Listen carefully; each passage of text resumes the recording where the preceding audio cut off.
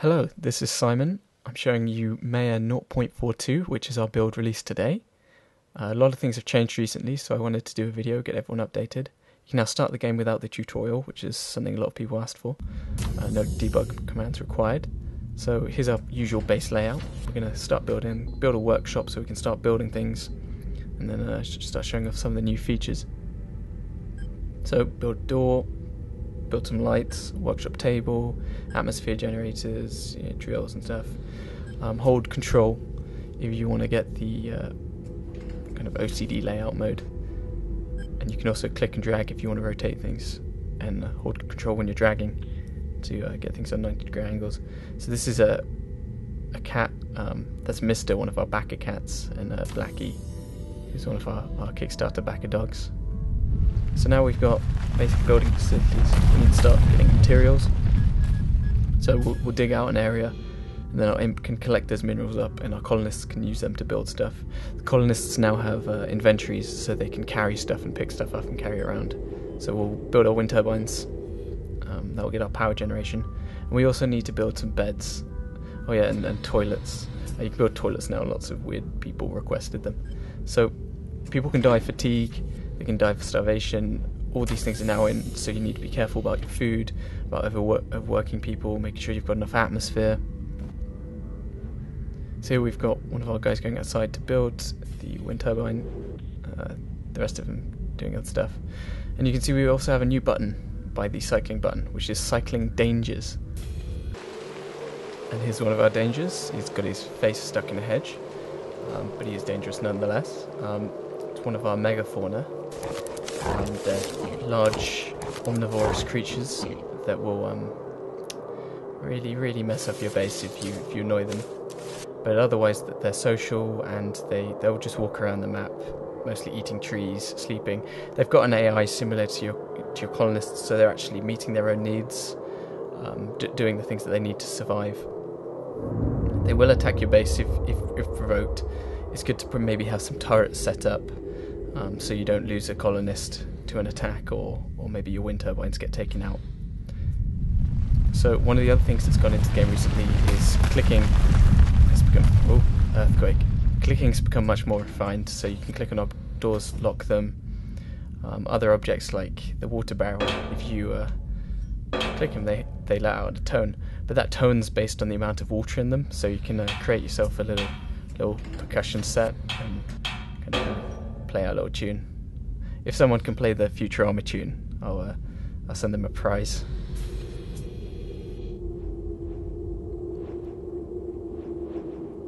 So we need to build the uh, communications tower. New in 0.42 is uh, simulated microwave communications, which uh, actual kind of real, um, not point to point, but uh, kind of broadcast style microwave transmission. So we've hadn't, not had any emails yet from them. I'll just check the emails. So they've got no complaints by the look of it. Um, there are a lot more new procedural emails they'll send you. They'll send you haikus. They'll send you weird poetry. Lots of other cool kind of stuff that we've been working on behind the scenes. So now we've got this communications tower. We're going to have to wait for them to build it, um, but we can get by that via the magic of editing. So we had a bit of a run-in with uh, one of the uh, new creatures. It's a kind of bit of emergent behaviour as it comes over and, and, just checks out your base. As you can see, the weather station's uh, placement is, is now based on a whole bunch of different variables. You notice that as, as you move away from the transmitter, you, you lose um, kind of signal strength, and that that falls off in an inverse square root, like, like the real thing in real life. Um, but also, as, as, you move away, you also get better placement because obviously, um, m- moving items further away from each other gives you more useful data. Two weather stations are on top of each other, or two seismic stations give you exactly the same data, which would be useless. That data can feed back to your research room and aid your research. It also allows you to get um, basic kind of forecasts of when the next earthquake might be or when the next weather system might move in, which will help you decide about what how you want to build your base. If you want lots of solar panels or, or a wind farm, or when you focus on nuclear, or you know whether, whether you need to spend lots of time repairing stuff because there's going to be an earthquake. So we've got the kind of base kind of going, but you know it, it kind of gets a bit slow. Um, so you want more colonists? Well, now you have microwave communications. You can call them from orbit. So here's a, a landed capsule, and uh, we have a new colonist that's going to crawl his way out, and he'll come join the base, and you'll be able to keep requesting new colonists as you need them. There's no set variable for when you get a new new colonist. You need microwave communications. It, it's based on how successful your base is, whether the uh, AI system decides that you really need a new person. So yeah, we ne- need to kind of get some food growing in the base because we're going to run out of rations soon. We'll place some hydroponic trees as they're basically free. Um, we can save some power by turning off this light. Um, you can turn off lots of things by clicking them, even the atmosphere generators now, so that will that will spin down and start re- releasing less and less air and eventually completely cool off.